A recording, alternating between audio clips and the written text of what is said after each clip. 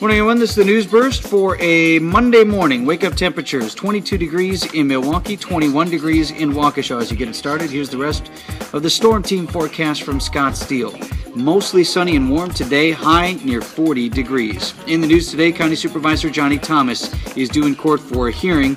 Uh, he's the guy accused of taking bribes and we may get an idea if they proceed with the full hearing on how he plans to defend himself against the bribes. He has previously said that uh, he had planned to give the money back because you have investigators saying, "No, we have you taking an envelope from uh, someone, and we have that recorded and have noted that." So it'd be interesting to see if Supervisor Thomas uh, how he plans to present his defense in that case.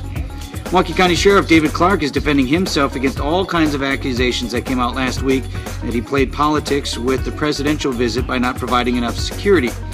Uh, essentially, what uh, Sheriff Clarke is saying is look, the Secret Service comes to us and says, all right, we need the following. Who can provide what?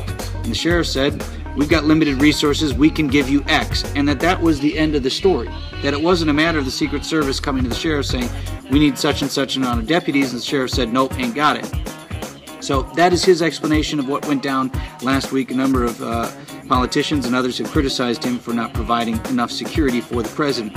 The other key point that the sheriff wanted to make was what is required for the presidential visit is provided, whether it comes from him or the state patrol or anybody else.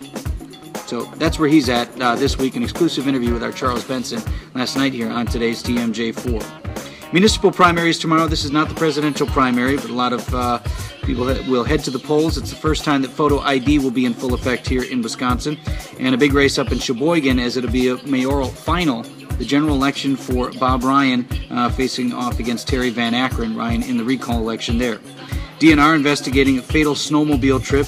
Again, if you are wondering whether or not the ice is safe, the ice is not safe. Six people went through thin ice, or if not open water, on Beaver Dam Lake, and one of them died over the weekend.